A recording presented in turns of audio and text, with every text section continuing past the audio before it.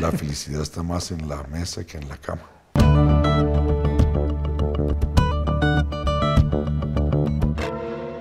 Yo me formé en una familia grandota, en la casa había unas mesas de comedor siempre abiertas a todo el mundo que llegara. Entonces, eh, y yo fui observador de todo ese universo, entonces ya grande, eh, sin saber para dónde coger, estaba más perdido que el carajo.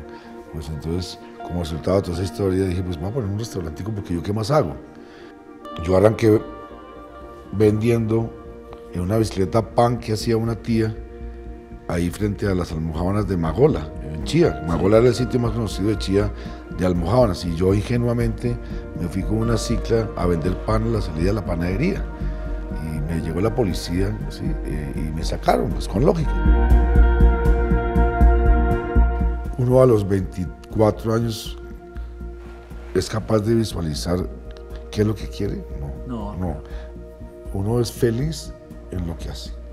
Y yo fui un hombre feliz en aquel instante. A mí no me importaba nada más que, que mi negocito, que colgar todos los corotos que me encontraba, volver arte, todo eso.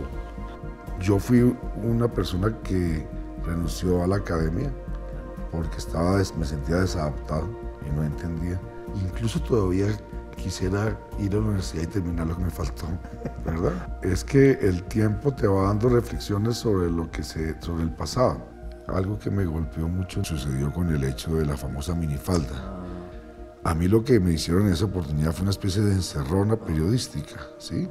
De encerrona donde, donde yo dije una frase que, como me dijo mi hija Valentina, lo que acabas de decir es eh, incorrecto políticamente, ¿sí? Y se me, vino, se me vino el mundo encima, ¿ya? Ni que siquiera salía a la calle, porque sentía un complejo, un miedo, de que la frase fue espantosa. ¿sí? Ese periodista no llegó a mi, a mi profundidad de ser, sino que agarró una frase eh, y con eso me licuaron y me volvieron, me volvieron mierda. Eso fue muy doloroso para mí. Yo creo que todo objeto está esperando que alguien lo agarre y en vez de botarlo a la basura, lo cuelgue y lo exhiba. Yo creo que cada objeto grita, dice, no me abandonen, no me abandonen. Creo que me adelanté como 50 años al proyecto de café tostado. Entonces yo, yo puse un café en el restaurante en la esquina occidental.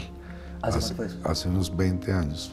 Le hice, hice el logo, Café Oscuro se llama. pasaron unos días y yo empiezo a descubrir que el único cliente de Café Oscuro era yo. Yo compraba el café, lo preparaba, lo pagaba. Aquí hay una cosa que no está funcionando. Entonces me tocó reconocer ese gran, ese gran fracaso, pero de pronto fue que me anticipé mucho. Yo soy un gran admirador de, García Márquez y, y un gran admirador en la manera en que él contaba las cosas.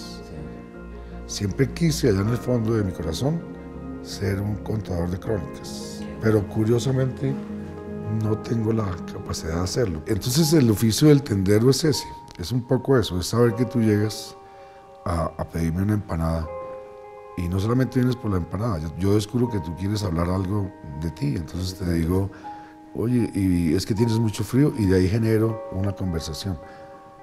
Y la gente eh, eh, se va feliz no por la empanada, sino porque me comuniqué contigo. Eso es, entonces, yo me la paso enseñando en el restaurante eso, o sea, hacer Andrés Carner es, es una manera de ser, hacer sentir a la gente particular.